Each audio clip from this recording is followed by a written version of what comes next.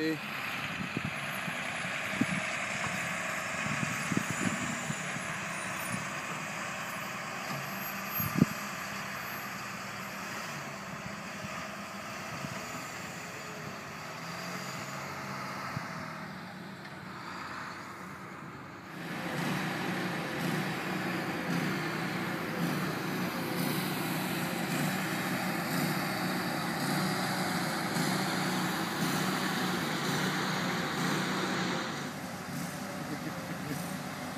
That makes sense. You know what I might do? I'm just gonna The it. Will you? Will you? Yeah. Will you?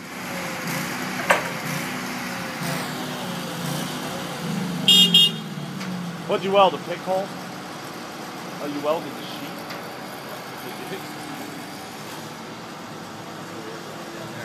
Then what? They just break on the top? Oh, they hold it in place. Yeah. And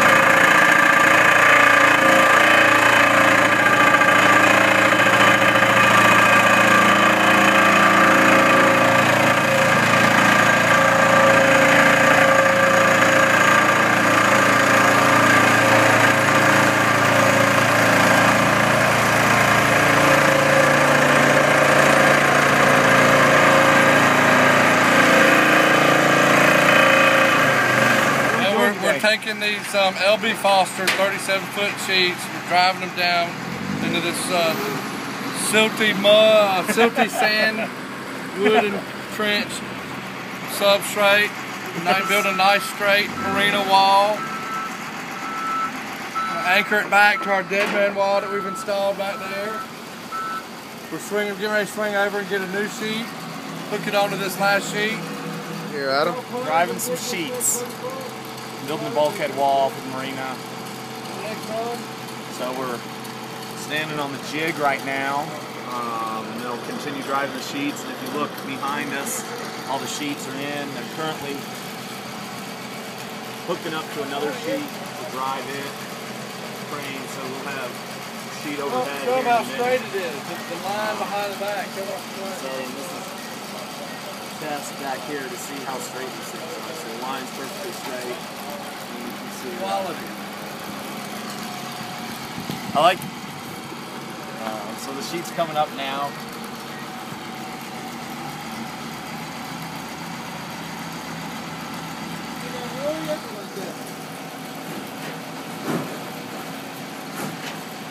He needs to boom in.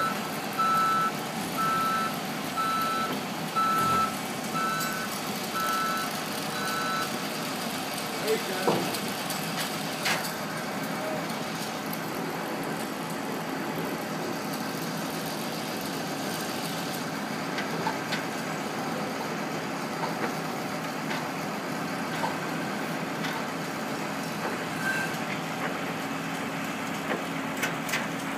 That's not. No.